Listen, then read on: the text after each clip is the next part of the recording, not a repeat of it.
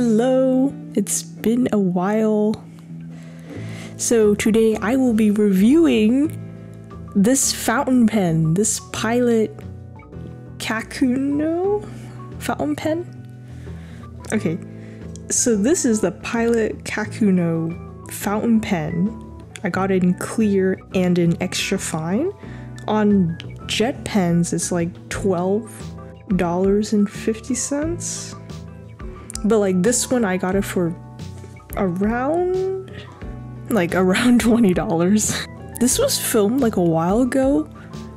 I don't think I was that impressed by it. It does bleed, like the ink is very like like if you use really like normal printer paper or like like not any like like fancy paper that's meant for fountain pen, it will bleed a lot and feather. I am testing out if the ink is like waterproof. And I'm using like a water-based Crayola marker, and now I'm using like an, an alcohol-based marker to see if it's like alcohol proof. And it passed. Like even like even in like the Crayola side, it looks kind of dark, but it's like the ink is like waterproof and Copic proof. When I try using the pen on like the Crescent RendR paper, it does bleed a little bit and like feathers a little bit. But when I use it on like the Canson like mixed media, like their heavier weight, it, it's like pretty clean and sharp edges and it doesn't bleed or feather as much. This is like the pen up close. And now I'm drawing. I filmed this like so long ago, like months and months ago. And I remember like erasing the sketch like like so many times. I don't know why. so I ended up deciding to use the like Canson mixed media paper. Although it's not I wouldn't recommend it because like if you go over like if you like ink over the same edges or like the same area over and over, it will eventually like the paper will, will, like bleed a little bit. Like the fibers of the paper will get caught in between the fountain pen. So you should probably i'd probably recommend using like a real like an actual like like paper meant for fountain pens. Like the midori sketchbook which apparently i did have but i was like there's there's no way there's no way the midori like sketchbook slash notebook could like handle fountain pens, but apparently it is, and it worked really well, which I'm like pleasantly surprised. Um, originally I like wanted to do like a full color, but like I was like, eh, and like color with like Copic markers, but I was like, eh, I don't know. A lot of things went wrong, so I'm just gonna show like my sketching process and like my inking process, and like that's it. that's it. I might have like a full, like unedited, like raw footage where it includes like the colored portion as well, but like uh, I don't know, not not very proud of it to be honest. I don't know. it's, it's been a while. I haven't drawn. I've been so busy with school. I haven't drawn in months, and I've been editing this for months. Because, I don't know, I remember the original file was like, like so many hours.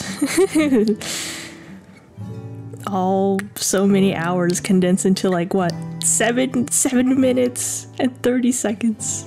30-ish seconds. Lately, I've been doing pretty good. Uh, these days, I think the only thing I have to worry about is like writing my short story for English and like overall I'm pretty good. I think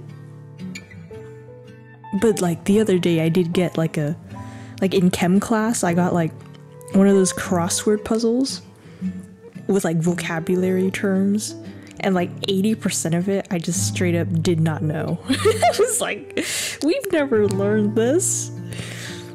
But it's, it's just a crossword puzzle, like, it's fine. it's fine.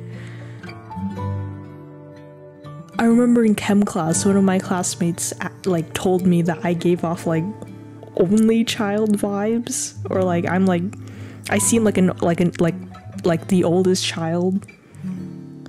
Like I guess I am because I'm an only child. oh, that's like the best. That's the best part. That was the best inking part. But like I don't know. I it's it's an okay pen. I don't hate it. It's just it's a bit too like in a fountain pen I probably want it to be a bit on like the thinner like I wanted to create like really like hair hair thin lines. And this is like like occasionally there were some but it's just I don't know I feel like I was more in love with a bunch of other fountain pens. Like for this pen I wasn't very like like if I lost this pen would I buy another one? No. Would I eh, would I recommend it? Eh, it just it feels kind of like mid-ish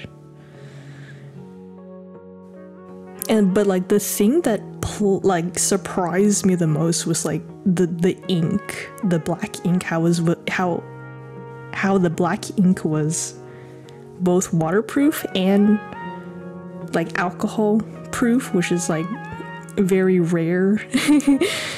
very rarely does like a very smooth black and like high high flowing ink is also like waterproof and Copic or alcohol proof.